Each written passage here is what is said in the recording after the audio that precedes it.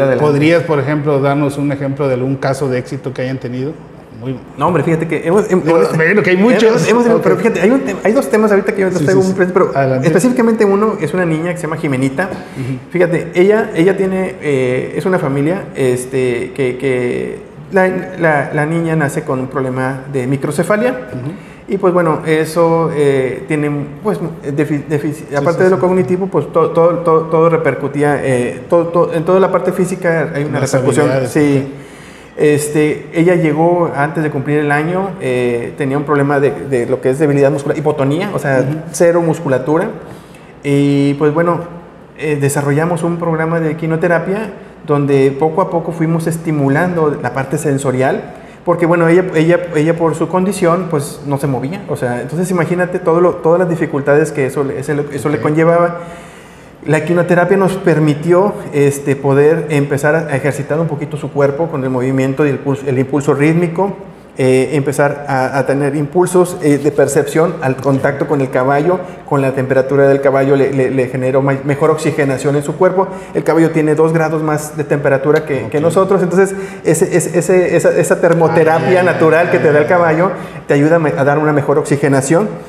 El sentido de percepción de que vas avanzando, bueno, el, el- el- ahora sí que todo el sistema vestibular se, les- se estimula, entonces empieza a tener mayor percepción de- de- de- del entorno.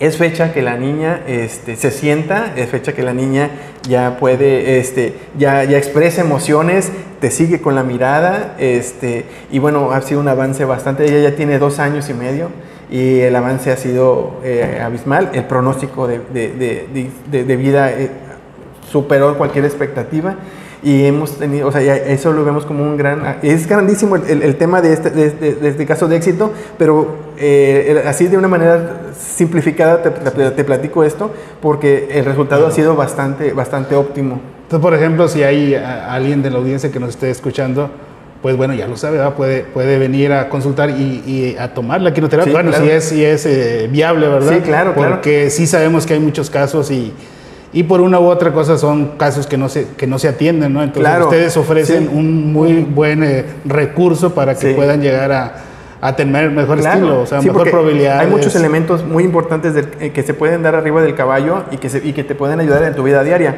Otro ejemplo así rápido, eh, el, el tema me encanta, el- eh, pero por ejemplo, este, eh, estamos ahorita recibiendo muchos niños que tienen algún tema de déficit de atención Ok. y- e hiperactividad. Son niños que, pues su naturaleza son inquietos y difícilmente ponen atención.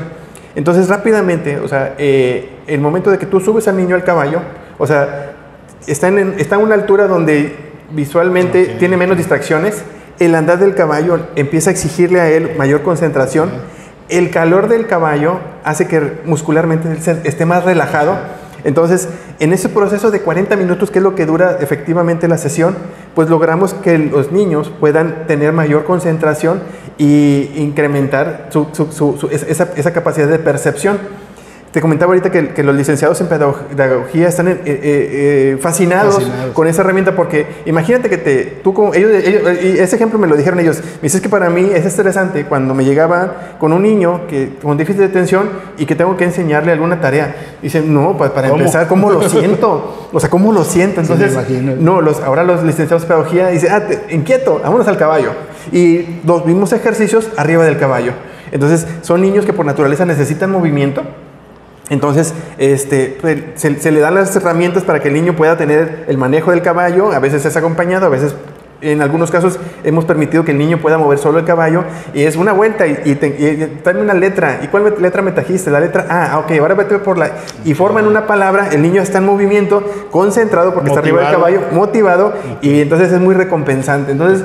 Si te fijas, de una manera muy práctica, o sea, una sesión de quinoterapia puedes convertirla en un beneficio este, para, para, muchos, para, para muchos ámbitos. Y no, no, no me metería mucho en la especialidad porque no, no conozco, pero imagino que en la, en la terapia conductual pues es, es una- un, un ambiente controlado, pero acá existen elementos que pueden Sí, ayudar. Entonces, bastante. por ejemplo, en lo, en, lo, en lo que hablan sobre lenguaje corporal y todo esto, eh, eh, me imagino, no, bueno, tú me lo, me lo vas a decir sí. ahorita, el, el también estar en un lugar donde estás en, en posición de, hacia Sí, arriba, como sí, de, no. te empodera. Eso, es, ese empoderamiento, este, hemos tenido temas de, de- de niños que han sufrido algún tema de bullying, Ok. este, y simplemente estar a una altura de unos 60 sentado, o sea, tú controlando un animal que pesa 300 a 400 kilos y que el caballo obedece o sea, a, a tus instrucciones, o sea, eso, eso, eso, y sumado a que la persona que te está acom- acompañando es un psicólogo que está sacándole provecho a todos esos elementos, entonces eh, tenemos una- un, un- un- el, eh,